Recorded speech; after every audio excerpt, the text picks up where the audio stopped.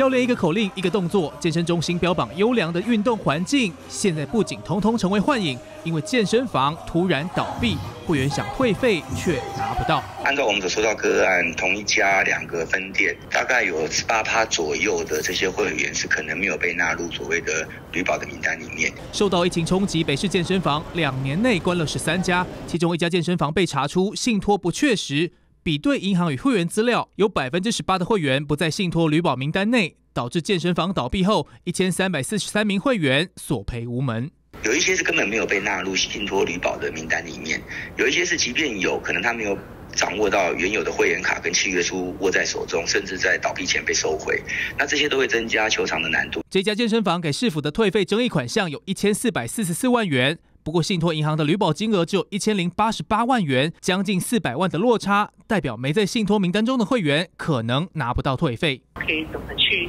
勾稽这个？他到底每一个契约收的这个款项是不是都有入他当初签约的这个金融机构的信托账户里面？民众想运动健身，下回签约前可先问清楚，也要保留合约，免得碰上纠纷讨不到钱。进新闻综合报道。